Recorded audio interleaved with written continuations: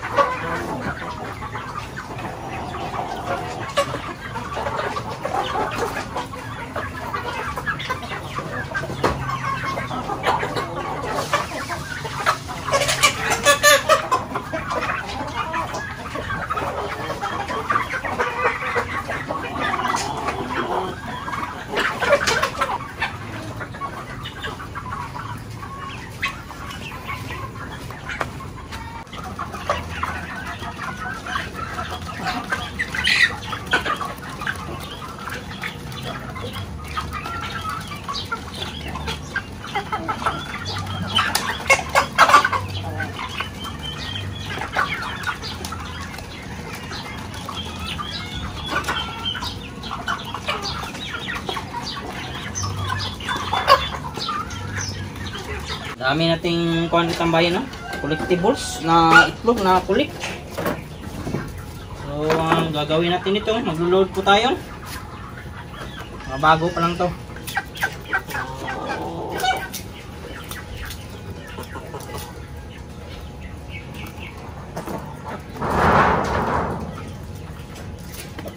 Kailangan na talaga nating magbili ng malaki-laki na incubator.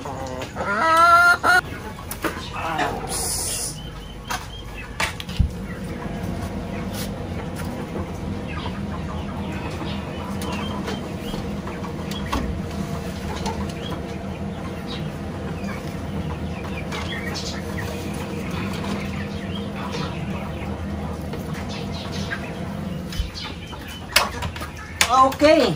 Sana mapisa. Katambayan, kung may mga madami po kayong tanim na malunggay, ah, magandang ipakainin po ito sa ating mga breeders kasi nakakapagtulong ito na o mag, nakakapagbigay po ito ng o nakakapag-produce ng magandang itlog o madami. Madami siya mag-produce pag nakakain po nito.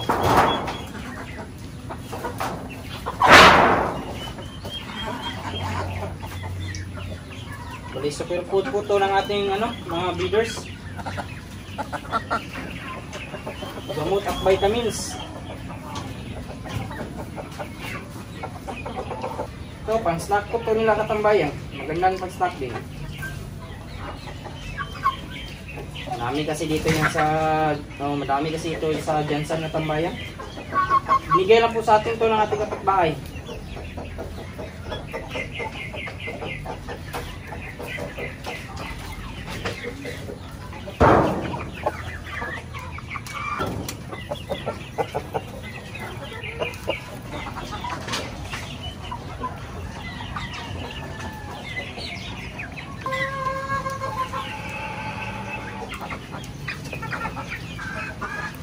Welcome back mga katambayan. Bali, ngayong araw po na to, ah, pag-usapan po natin ay kung paano po natin ma-ibenta agad yung ating mga alaga, mapa-native man o mapa-heritage. Ah, napapansin nyo po ngayon mga katambayan ay ibang-iba na po talaga kumpara po nung mga nakaraang taon na napakabilis pong maibenta yung ating mga alaga.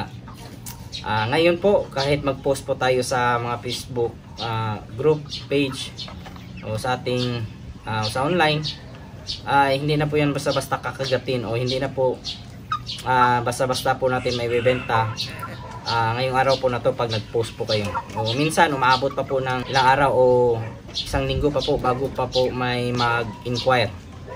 Sa dami po kasi ng mga nag-alaga o mga breeders ay talagang nahihirapan na po tayong may benta yung ating alaga. O kahit mga sisiw ah, na ipopost po natin ay talagang wala na pong ah, nag inquire Hindi inong kumpara nung dati na talagang napakabilis lang po. So ngayon sa panahon na ito, kailangan mo talaga maging madiskarte para maibenta agad yung mga alaga mo. O isa po dyan ay yung ah, pag-display po natin sa mga daan o tabing daan. So gaya po yung nang ginagawa ko dati na yung ating mga alaga, yung binibenta ko pong manok, ay sa daan ko po dinidisplay para makita ng mga tao. Ah, talagang mabilis mabenta mga katambayan kasi ah, madami kasing dumadaan o doon tayo sa mga ah, daanan ng mga sasakyan, madami talagang dumadaan o yung mga matatraffic na area. So, sa tabing daan po tayo. So, ganun po ang isang paraan. Kung gusto niyo naman po na ah, mabilis po talaga mabenta ay pwede po tayong pumunta sa mga merkado o palengke. So may mga bumibili po ng mga alaga po natin doon. Yun nga lang, hindi masyadong ah, mahal kumpara po pag nagbenta po tayo sa tabing daan. So kung dito sa Jansan ngayon, nasa ah, 180 to 200 yung bawat per kilo o per kilo yung kuha nila sa mga nagsusupply po ng mga native o upgraded. So ah, ano nga lang, So malayong malayo sa presyo pag tayo ay nagbenta na nasa 230 to 250 bawat kilo. O depende din po yan sa inyo. Yung style po kasi natin o pag o, ilagay na lang po natin pag nag-alaga po tayo ng mga heritage gaya po nito. Ah, pag umabot na po ng 1.1 to 1.2 ah, dapat na po talaga nating ibenta. Kasi kung hindi Ah, napakabilis na po ng kumain at malalakihan na po kayo ng gasto. Ah, another market naman po ay yung ating mga aros kalduhan. So isa din po yan mga katambayan na pwede nating bintahan. O araw-araw kasi yan sila nagabenta. So madami din bumibili at kailangan din po nila ng mga supply na mga manok. So pwede tayong lumapit po sa kanila mga katambayan at yung mga restaurants.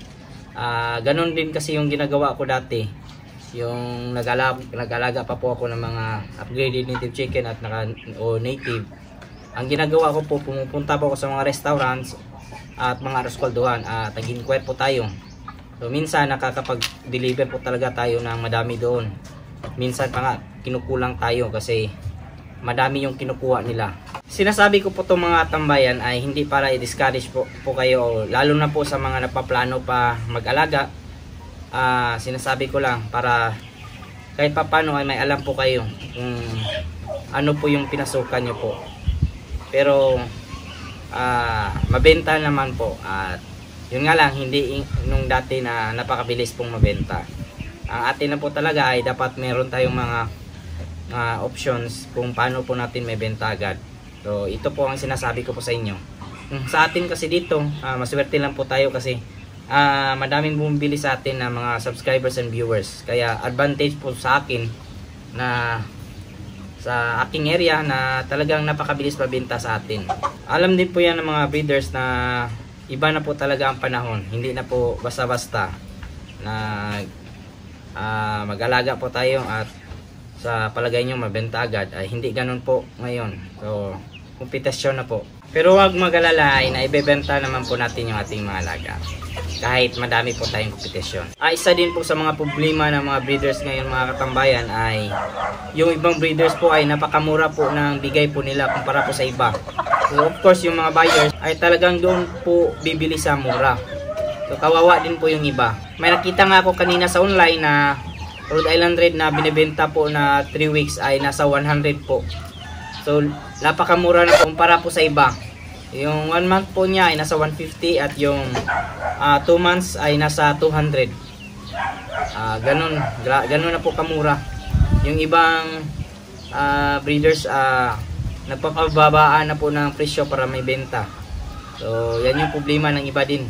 Kawawa din po yung uh, nakabili po ng mga quality na materialis at ibibenta din po ng mura dahil gusto makipagsabayan po sa mga ibang breeders na mura din po yung ibinebenta. So, yan lang po yung may babahagi ko ngayong araw mga katambayan at sana po ay may nakuha po yung kunting idea kung paano po uh, ibenta po ng uh, mabilisan yung ating mga alaga. At sa mga nanood po pala nating mga previous videos at mga bago po nating subscribers and viewers, welcome po sa aking channel at kung kayo lang po ay napadaan, sana po ay consider nyo pong subscribe. Napakalaking tulong po yan Kung may mga katanungan naman po kayo, ilagay nyo lang po sa comment section at atin sasagutin. At huwag kalimutan na i-click yung notification bell para sa mga susunod na videos. Bago muna tayo magpaalam, shoutout muna natin yung ating mga kaibigan dyan na si Ryan Lutong Bahay Channel, Bunjol's Farm, Angel Farms TV, Vin Siranyab, RJ Ricky Habagat Channel, Just Time Official Channel, Vash 1890, Kirk Harry from Angeles City, John Rins Dufilis, Japit Sorinio. Sa mga hindi ko naman po na shoutout, i-shoutout ko lang kayo sa susunod. Maraming salamat, God bless at ingat po kayo palagi. Bye-bye!